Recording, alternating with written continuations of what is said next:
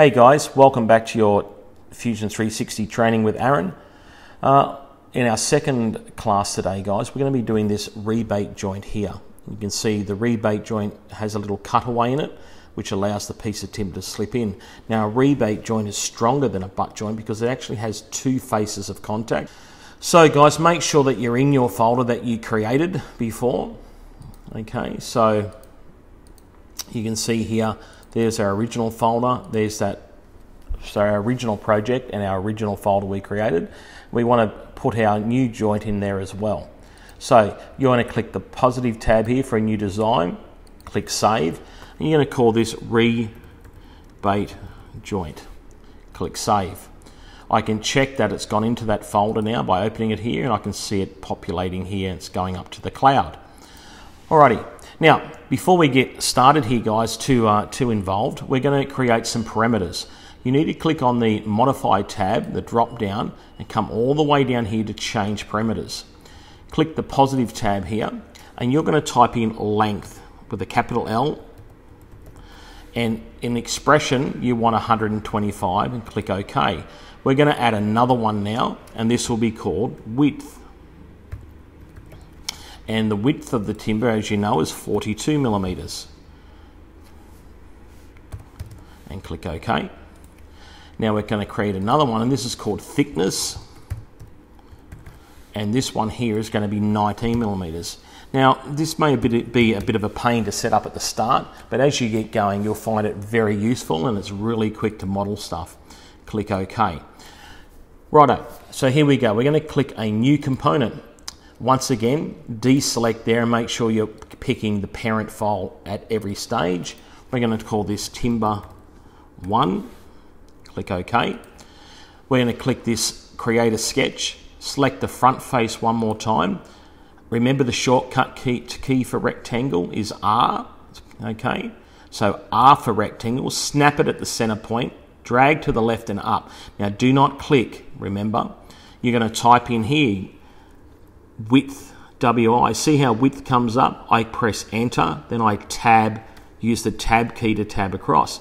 This one will be length. You see length, if I push the L key once, the length comes up, I press enter once, press the tab key, press enter. Now you can see here means the FX means that we've added that parameter that we've created down in here before, guys, all right? So now E for extrude, remember if you don't know where extrude lives, it lives in create and you see the shortcut key is E. Click that face. Now we're not going to type in 19, we're going to type in thickness, okay? Enter. Okay, here we go. So you can see it was so much easier now that once I set those parameters and I knew the size of my timber, we're ready to go. Now here guys, we need to click this face now. Okay, we're going to press R for rectangle and I'm just going to drag mine over and scroll in a little bit so you can see. You can see my drawing, my mouse has changed to the rectangle icon, it's ready to draw. I'm going to snap it from the center there, drag up. Now I'm not going to terminate. This one here will be width, enter, tab. This one here will be thickness, enter, tab enter. We're going to press E for extrude, guys. Click on that face and view in an isometric view. Now, if I go out, it's going to create a, a joint. It's going to create some more timber on it, but I want to go backwards in. And you'll see over here it changes to cut. Now, instead of typing in the value, guys, you're going to do this. You're going to press the negative key once. You're going to type in thickness,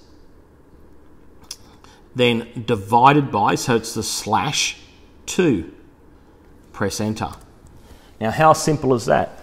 We've used the CAD to, to do its own uh, mathematics, its uh, numeracy to work it out for us. Now we can inspect this. We click the, click the inspect tool, I can click on that and I can see it's 19 millimeters. If I use the inspect tool, I can click on that length, I can see it's 42. And to check the half the thickness, guys, I clicked on that line, 9.5. We know that if it was 20, half of 20 would be 10, hence 19, half of 19 is 9.5. Click close. Righto, let's start our second component. Click on new component, deselect that, pick the parent file, and double click in there and type in timber two, enter. We're going to create a sketch and we're going to click that face there, all right? R for rectangle, snap it from the center and drag up. Now, you're going to type in here, this will be thickness, enter, tab, this one will be width, enter, tab, E for extrude. Okay, E for extrude. Click that rectangle that you just drew. And remember, we're going to be length here. Enter. And here we have it. There's our joint. Now, click Save, guys. Remember to save your work all the time. Come up to the top level here, activate it, and let's put some um, appearance on this. So I'm going to use oak for my one here. I'm going to drag that on.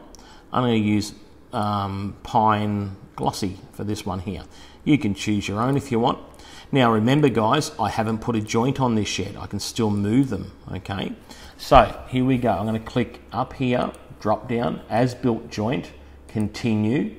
I'm going to pick this one and that one. It's a rigid joint. Click OK. Click Save. And there we have it, guys. You have your butt joint and your rebate joint.